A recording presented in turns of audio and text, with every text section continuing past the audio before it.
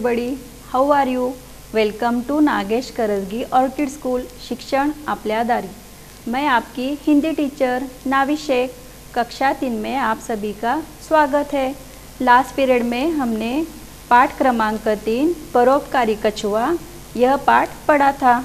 इस पाठ का हमने स्वाध्याय छुड़ाया था. तो बच्चों, आज उसके आगे का स्वाध्याय हम लोग आज छुड़ाने वाले हैं. Open your textbook page number twenty three. Open किया सभी ने? Page number twenty five. Question number seven. पाठ से संज्ञा का शब्द छांट कर वाक्य पूरे कीजिए। संज्ञा यानी किसी व्यक्ति, वस्तु, स्थान अथवा प्राणी के नाम को हम लोग क्या कहेंगे? संज्ञा कहेंगे। तो क्वेश्चन क्या है? पाठ से संज्ञा, शब्द छांट कर वाक्य पूरा कीजिए। तो उन्होंने उदाहरण के तौर पे हमें एक बताया है, तालाब के किनारे। क्या लिखा है यहाँ पे? तालाब के किनारे पर डैश डैश का एक पेड़ था। कौन सा पेड़ था यहाँ पे? यहाँ पर क्या आएगा? जामुन। तो इस तरह से नेक्स्ट क्वेश्चन सॉल्व करना है। तालाब में एक डैश डैश रहता था। कौन रहता था तालाब में? बताओ। कौन रहता था तालाब में? तालाब में रहता था कछुआ। तालाब में एक कछुआ रहता था। तो आंसर इस तरह से लिखना है। इधर देखो बच्चों। क, छू, आ। इस तरह से वहाँ पर लिख दो। तालाब में एक कछुआ रहता था। नेक्स्ट घोंसले में से एक डैश डैश निकलकर सीधा डैश डैश में जा गिरा। तो बताओ बच्चों, इसका आंसर क्या है? पता है किसी को? हाँ बताओ। बराबर है, घोंसले में से एक अंडा निकलकर सीधा यहाँ पर क्या आएगा? तालाब में जा गिरा। तो यहाँ पर का जो आंसर है, मैं लिख के बता रही हूँ। सभी नोट डाउन करो, अपने टेक्स्ट बुक में लिखो पेंसिल से लिखना है पेन नहीं यूज़ करना है। लिखो, घोंसले में से एक अंडा। इस तरह से लिखना है वो आंसर अंडा। लिखा सभी ने? नेक्स्ट क्या है? निकल कर सीधा। कहाँ जा गिरा वो? तालाब में। तो इस तरह से आंसर लिखना है ये। त तो को काना देना है। ल को काना देना है और ब, तालाब में। ठीक है? नेक्स्ट कौन सा क्वेश्चन है? शुक्र है। शुक्र है तुम्हारा डैश डैश पानी में ही गिरा। यहाँ पर क्या आएगा? कोई बता सकता है क्या? इसका आंसर क्या है? हाँ बताओ जल्दी से। ओके अंडा, बराबर है। तो यहाँ पर क्या लिखना है? नेक्स्ट आंसर है अंडा। तो लिखो, शुक्र है तुम्हारा अंडा पानी में ही गिरा। नेक्स्ट ड है डैश डैश तत्काल उड़कर जामुन के पेड़ पर जा बैठा। यहाँ पर क्या आएगा? बताओ। हाँ ठीक है, बराबर है, कौवा। तो यहाँ पर क्या आंसर आएगा? कौवा। इस तरह से लिखना है, क को एक काना देना है, ऊपर दो मात्रा देना है, और ये है आ कौआ इस तरह से ये आंसर लिखना है। समझ में आ गया आपके सभी के? इस तरह से आंसर लिखो। Next page number twenty six open करो। पेज नंबर ट्वेंटी सिक्स वहाँ पर क्या है? नीचे दिए गए शब्दों के नीचे दिए गए शब्दों के विलोम शब्द लिखिए। विलोम यानी अपोजिट वर्ड आपको लिखना है यहाँ पर। यहाँ पर ये एग्ज़ाम्पल दिया है क, पास। पास के अपोजिट क्या आएगा? दूर। उसी तरह ज़्यादा। ज़्यादा के अपोजिट क्या आएगा? कोई बता सकता है? हाँ बताओ जल्दी से। ओके। ज़्यादा का अपोजिट है कम। तो यहाँ पर आंसर इस तरह से लिखना है। क्वेश्चन नंबर एट, उसमें का ख। उसका आंसर क्या है? ज़्यादा कम। नेक्स्ट क्या है? पसंद। आगे क्या है? पसंद। पसंद के अपोजिट क्या आएगा? बताओ। पसंद के अपोजिट है नापसंद वेरी गुड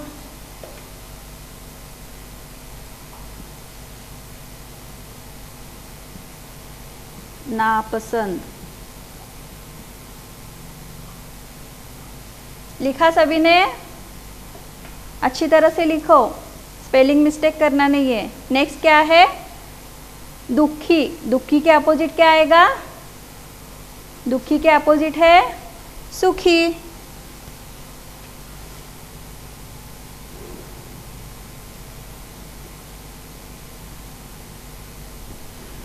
को उकार देना है, ख को वेलांटी दो, सूखी। उसके बाद क्या है? ड, निराशा। निराशा के अपोजिट क्या आएगा? निराशा के अपोजिट लिखो।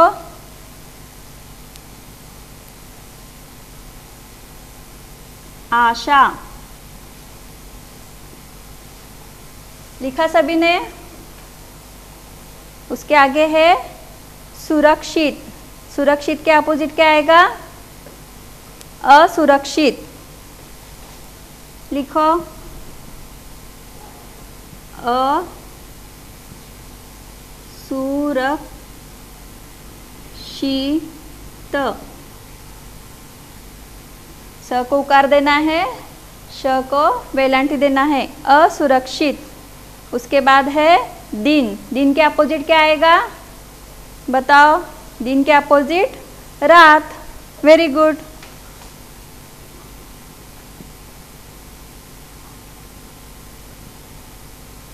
र को काना देना है? नेक्स्ट है बाहर. बाहर के अपोजिट क्या आएगा? बाहर के अपोजिट क्या आएगा? बताओ. कौन बता सकता है? हाँ वेरी गुड बाहर के अपोजिट है, भीतर।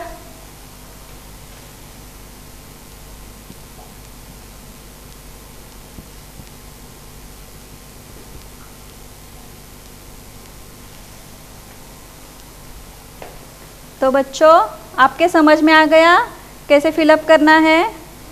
आंसर बराबर से लिखो। पास के अपोजिट दूर वैसे ज़्यादा कम।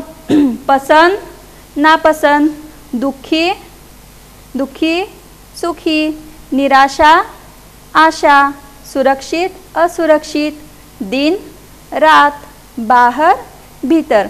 इस तरह से आंसर लिखना है। नेक्स्ट उसके आगे है, रचनात्मक कार्य। ये आपके लिए होमवर्क है। नीचे दिए गए जीव जंतुओं के घर शब्द पहेली में से ढूंढकर लिखिए। जैसे शेर की गुफा होती है, वैसी मधुमक्खी, भैंस पपीहा, मछली, सांप, चूहा, मकड़ी। इन ये कहाँ पर रहते हैं? इसमें दिया हुआ है। तो ये पहेली आपको सुलझाना है। इसके आंसर यहाँ पर आपको लिखना है। उसके आगे है, विभिन्न प्रकार के पक्षियों के घोंसलों के चित्र इकट्ठे करके एक चार्ट पेपर पर चिपकाइए। अगर आपको पॉसिबल है तो गूगल से सर्च करो, नहीं तो जहाँ पर भी आपको ये चित्र मिलेंगे वो इकट्ठा करके आपके पास अगर रफ बुक हो तो उसमें ये चिपका दो। बुरे काम का बुरा नतीजा। इस वाक्य पर पाँच से सात वाक्यों में अनुच्छेद लिखना है। आपके रफ बुक में ये बुरे काम का बुरा नतीजा जो होता है, उसके बारे में पाँच सात वाक्य लिख दो। और ये जो पाठ आपने पढ़ा है, उसका पठन दो बार करना है। ओके? तो हम लोग आगे बढ़ने से पहले नेक्स्ट लेसन अब रीड करेंगे। तो बच्चों, हम लोग आज पढ़ेंगे पाठ क्रमांक चार, नन्ना पौधा। इसके लेखक है राजीव कृष्ण सक्सेना। तो बच्चों, आपको बोर्ड पे क्या दिखाई दे रहा है? दिख रहा है ये पिक्चर। यहाँ पर ये पौधे का विकास है। और यहाँ पर क्या दिख रहा है? मानव का विकास। तो पौधे का विकास और मानव का विकास। इसमें आपको क्या दिखाई दे रहा है? समानता दिखाई दे रही है ना? जैसे कि यहाँ पर दिख रहा है आपको, ये बीज है, फिर इसमें से सेकंड आगे क्या दिख रहा है? थोड़ा सा इसमें से कुछ ऐसा पौधा निकल आया है और इस तरह से ये बढ़ते बढ़ते ऐसा ये पौधा इतना बढ़ गया है। तो उसी प्रकार यहाँ पर भी आपको दिख रहा है, ये छोटा सा बच्चा है, जैसे कि ये अंकुर के जैसा लग, अंकुर, और इसमें थोड़ी समानता है कि नहीं? जैसे कि ये बच्चा छोटा, फिर उसके बाद ये बड़ा हो रहा है, ये बालक है, फिर ये, उससे थोड़ा बड़ा हो गया, यहाँ पर ये किशोर अवस्था है, और यहाँ पर ये कुमार अवस्था आ गई, फिर इसके बाद ये प्रौढ़ बन गया, और इस तरह से वो बूढ़ा हो गया। यानी ये पेड़ कैसा बड़ा होता है, उसी तरह से हमारा मानव का भी विकास होता है। तो आज हम लोग पढ़ेंगे पाठ नन्ना पौधा। तो यहाँ पर हमें क्या दिखाई दे रहा है? ये ये पौधे का विकास और उसी तरह से मानव का विकास। इसके ऊपर कुछ क्वेश्चन है, वो मैं आपको पूछूँगी, उसके आंसर आपको देना है। बीज कैसे बोए जाते हैं? बताओ, किसी को पता है बीज कैसे बोए जाते हैं? बीज कैसे होते हैं? कठिन होते हैं ना? हाँ। उसके आगे फिर उसको आपको बोना है, तभी इस तरह से ये अंकुर आएगा और इस तरह से ये बड़ा हो जाएगा। तो ये जो बीज है, इसके बोने के लिए कुछ प्रक्रिया होती है। तो किस तरह से बोए जाते हैं? जब हम लोग घर में लगाते हैं इस तरह के बीज तो कहाँ पर लगाते हैं? एक गमेले में लगाते हैं। और इसके लिए हमें क्या ज़रूरी है फिर? बीज कैसे बोए जाते हैं? पहले तो घमेला चाहिए। और क्या चाहिए? ये बीज बड़ा होने के लिए उसको मिट्टी चाहिए। और क्या चाहिए हमें?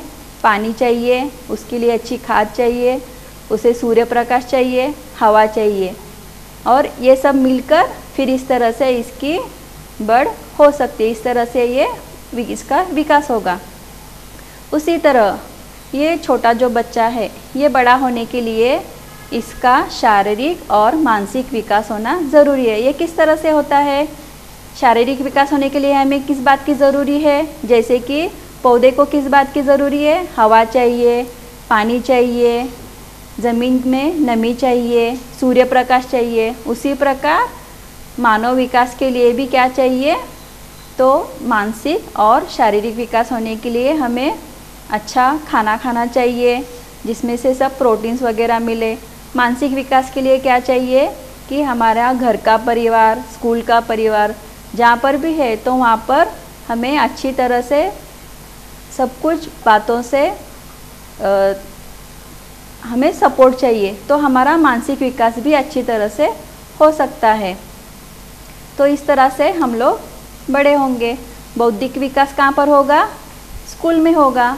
शारीरिक विकास कहाँ पर होगा, घर पे होगा और मानसिक विकास के लिए हमें खुद ही प्रयत्न करना पड़ता है, जैसे कि अच्छा आचरण चाहिए। तो इस तरह से हम लोग अच्छे व्यक्ति बन सकते हैं। पौधा लगाने के लिए हमें किन किन चीज़ों की ज़रूरत होती है? किन किन चीज़ों की ज़रूरत होती है? हमें मिट्टी चाहिए, पानी चाहिए, घमेला चाहिए और क्या चाहिए? उसके लिए खाद चाहिए। और जहाँ पर सूर्य प्रकाश आता है, ऐसी जगह हमें देखना है। ये तो हो गया। अगर हम लोग घर पे लगाते हैं पौधा तो इस बात का हम ख्याल रखेंगे। अगर किसान खेती करता है तो वो किन चीज़ों से करेगा? उसके लिए उसे हल चाहिए।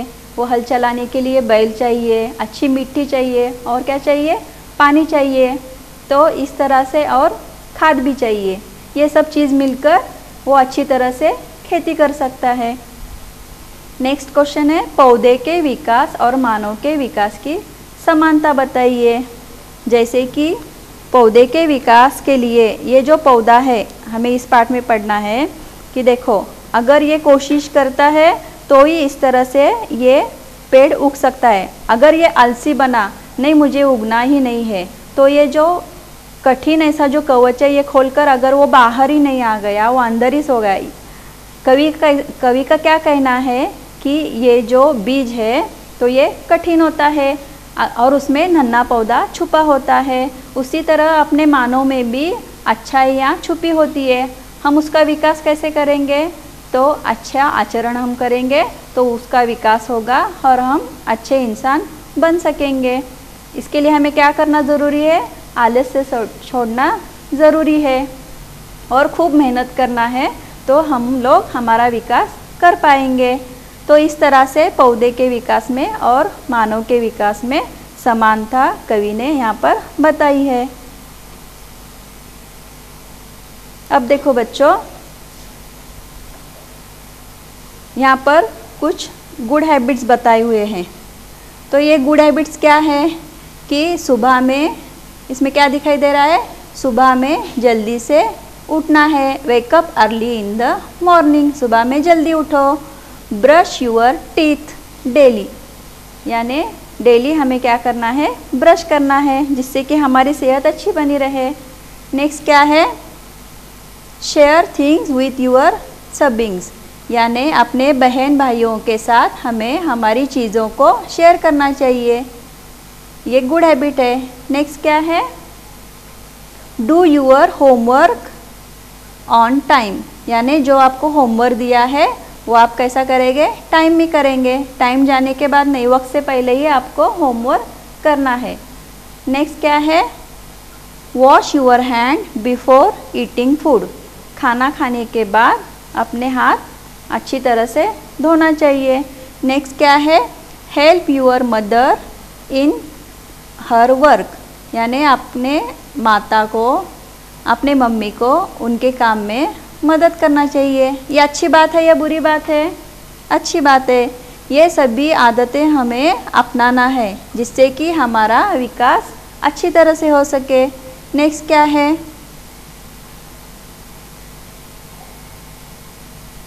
Listen listen to your school carefully listen your teacher carefully जब आपके टीचर आपको पढ़ा रहे हैं तो आपको अच्छी तरह से केयरफुली उसको सुनना है। नेक्स्ट क्या है? ईट वेजिटेबल एंड फ्रूट्स यानि फल और सब्ज़ियाँ हमें डेली खाना चाहिए, जिस, जिससे कि हमारी शारीरिक क्षमता अच्छी बन सके। Do not make noise in the class class में हमें क्या करना चाहिए? अच्छी तरह से बैठना है, आवाज़ बिल्कुल करना नहीं है। Get ready for school yourself school में जाते वक्त हम लोग देखते हैं कि खुद से तैयार नहीं होते। मम्मी से पूछते हैं, मेरे जूते किधर है? मेरे सॉक्स किधर है? मेरी बैग किधर है? बैग भी मम्मी और अपने पापा को ही भरना पड़ता है। तो इस तरह से ये गलत बात है। अगर हमें अच्छी आदतें अपनाना है तो आप खुद के खुद ही तैयार होना है। जब स्कूल को आप जाते हो तो आपकी खुद की बैग खुद ही भरना है। Wait in queue for the turn जब आप लोग रास्ते पे चल रहे हो तो थोड़ा सा रुक कर ही चलना चाहिए। क्यू बना के इस तरह से हमें रास्ता क्रॉस करना है, ना कि गड़बड़ी में। उसके आगे क्या है? Throw throw waste in dustbin जो भी डस्ट है, कचरा है, वो कहाँ पर डालना है? डस्टबिन में डालना है। Play for play fair games यानी हमें इंडोर गेम्स खेलना है। तो ये है अपने गुड हैबिट्स उसके बाद है बैड हैबिट्स देखो बच्चों गुड हैबिट्स अच्छे हैं बैड हैबिट बैड हैबिट क्या क्या दिख रहा है यहाँ पर? टचिंग टचिंग लाइव वायर्स यानी इलेक्ट्रॉनिक कौन सी भी चीज़ें होती है तो उन्हें हमें ऐसे जो ओपन ऐसे जो वायर्स होते हैं, उन्हें हाथ नहीं लगाना है। उसके बाद क्या है? Throwing banana skin on road यानी बनाना खाकर, केला खाकर उसका जो छिलका है, इस तरह से रास्ते पर आप लोग फेंकोगे तो क्या होगा? देख रहा है यहाँ पर, दिख रहा है आपको? ये औरत यहाँ पर गिर गई है। इसने बनाना खाकर, केला खाकर उसका छिलका यहाँ पर फेंक दिया है। तो ये बैड थिंग है। तो केला कहाँ पर फेंकना है? केले का छिलका डस्टबिन में फेंकना है। Touching poisonous articles. देखो आर्ट इस तरह से अगर कोई पॉइजनस चीज़ होती है तो उन्हें छोटे बच्चों ने वहाँ पर हाथ नहीं लगाना है। फाइटिंग विथ अदर्स ये गलत बात है ना? ये अच्छा लगता है क्या ऐसे इस तरह से फाइटिंग करना? तो किसी के साथ भी झगड़ा, लड़ाई करना नहीं है। नेक्स्ट क्या दिख रहा है? फ्लाइंग काइट ऑन रूप टॉप आप लोग अगर पतंग इस तरह से, ये देखो उतरता ऐसा ये छप्पर दिख रहा है। यहाँ पर पैरापेट वॉल नहीं है। इस जगह पे इस तरह से अगर आप लोग पतंग उड़ाएँगे तो ये सही बात है क्या? नहीं, ये गलत बात है। तो इस तरह से आपको पतंग नहीं उड़ाना चाहिए। ये बैड हैबिट है। नेक्स्ट क्या है? हार्मिंग एनिमल्स एंड बर्ड्स यहाँ पर देखो, ये जो बच्चा है बर्ड्स को मार रहा है और ये भी फ्रॉक को मार रहा है। तो इस तरह से किसी भी प्राणी या प्राणी को इस तरह से हमें दुख नहीं पहुंचाना चाहिए। यहाँ पर क्या है? स्मोकिंग तो ये भी गलत बात है। इस तरह से ये देखो यहाँ पर क्या दिख रहा है। ये ट्रेन जा रही है और ये रास्ता क्रॉस कर रहे हैं।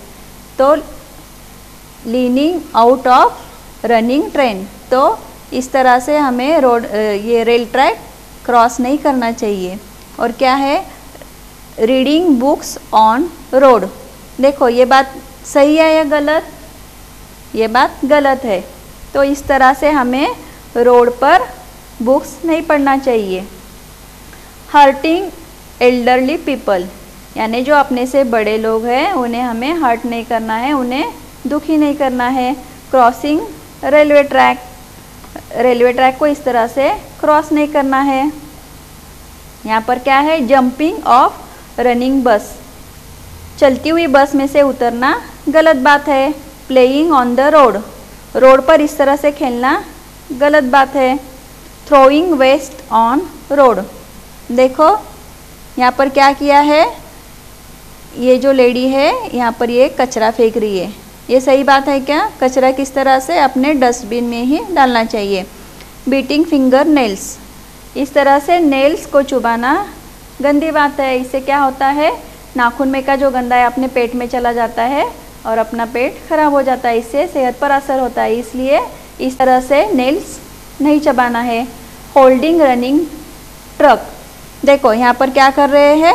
ट्रक को पकड़ के ये बच्चा ऐसे साइकिल पे जा रहा है। तो इस तरह से ये गलत बात है। गलती से भी अगर उसका हाथ छूट गया तो ये ट्रक के नीचे आ सकता है।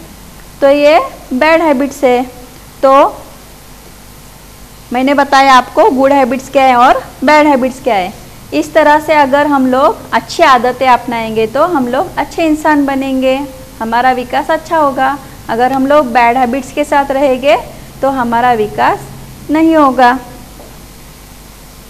तो इसी तरह से हम इस पाठ में क्या पढ़ेंगे? जैसा पौधा, मिट्टी, हवा, पानी सूर्य प्रकाश आदि के सहयोग से विकसित होता है, उसी तरह से मनुष्य के विकास में भी सभी वर्गों का उतना ही महत्वपूर्ण योगदान होता है। इसमें अपने माता पिता हैं, अपने गुरुजन हैं और हमें जो भी लोग अच्छे लगते हैं, उनका हमें आचरण, जो उनके अच्छे आदतें हैं, वो हमें अपनाना है।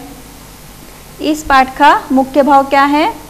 इस कविता के माध्यम से कवि ने मानव विकास की प्रक्रिया को समझाते हुए त्याग, मेहनत, लगन, इस भावना की सीख हमें दी है। हमें किस बात का त्याग करना है? आलस्य का त्याग करना है और हमें मेहनत से रह के, लगन से रह के हमारा विकास करना है। सारांश क्या है इस पाठ का?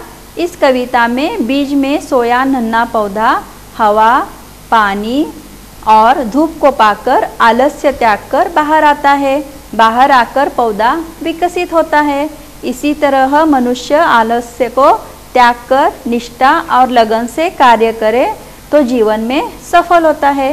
यही समानता इस पाठ से हमें सीखना है। तो बच्चों टेक्स्ट बुक ओपन करो, पेज नंबर ट्वेंटी सेवन।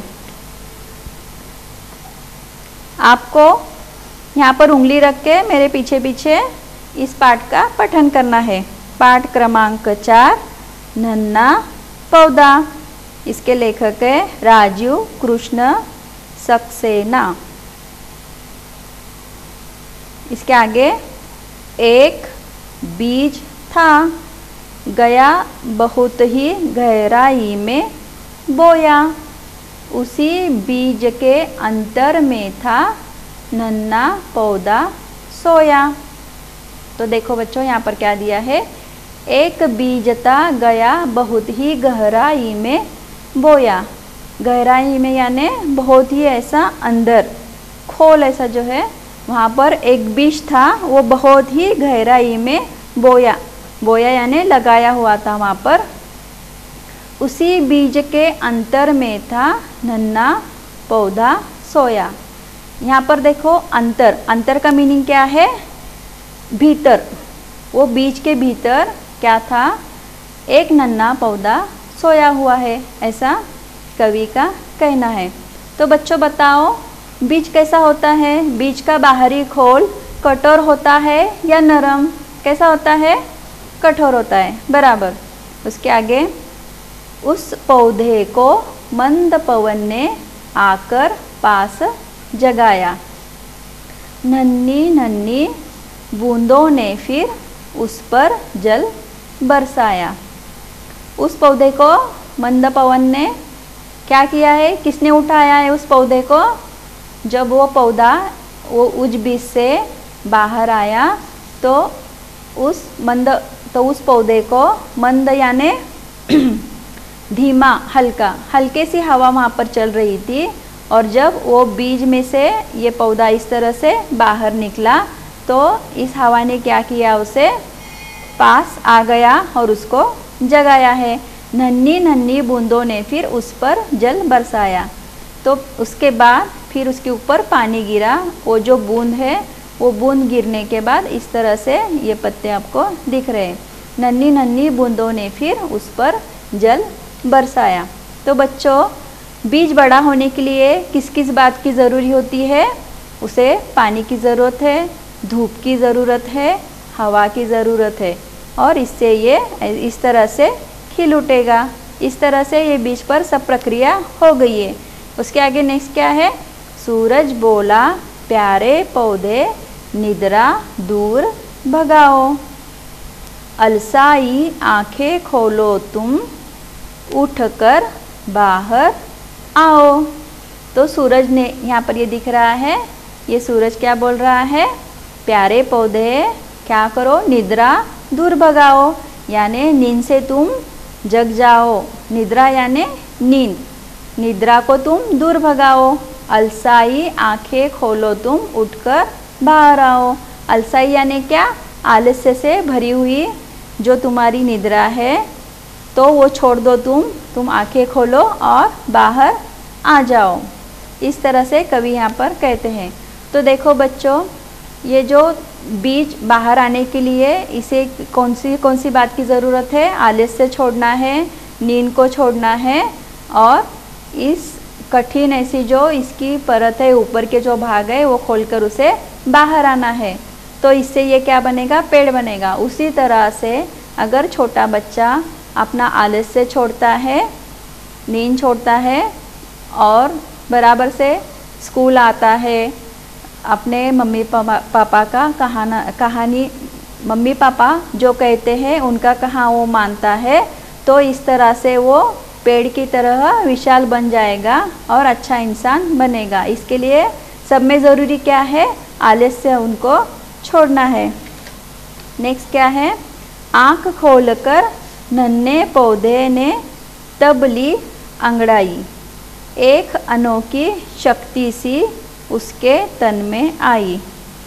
जब सूरज ने बोला कि तुम आलस से छोड़ो, बाहर आ जाओ तो उस पौधे ने क्या किया? जो उस बीज में जो नन्ना पौधा था, उसने क्या किया? आँख खोली, खोलकर नन्हे पौधे ने तबली अंगड़ाई। अंगड़ाई ली यानी उन्हें, उसने शरीर को ताना, यानी स्ट्रेच किया और वो बाहर आ गया। एक अनोखी एक अनोखी शक्ति सी उसके तन में आ गई। तन में यानी उसके शरीर में कुछ ऐसी शक्ति आ गई और वो उस बीज से बाहर निकल आया।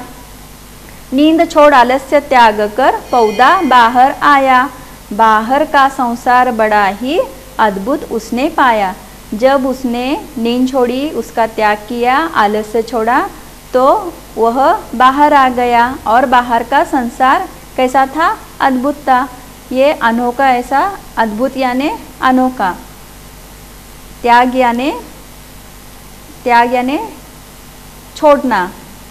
तो नींद का आलस्य त्याग कर वो पौधा बाहर आया और उसने देखा कि संसार बहुत ही अच्छा है, अद्भुत है, अनोखा है। तो बच्चों, हम लोगों ने आज ये नन्ना पौधा पाठ का पठन किया। आशा करती हूँ आपको ये पाठ समझ में आया होगा। तो इस तरह से जैसे कि पौधे का विकास होता है, मनुष्य ने भी अपना आलस्य छोड़ना है और अपना विकास करना है। इस पाठ से हमें ये सीख मिलती है। धन्यवाद।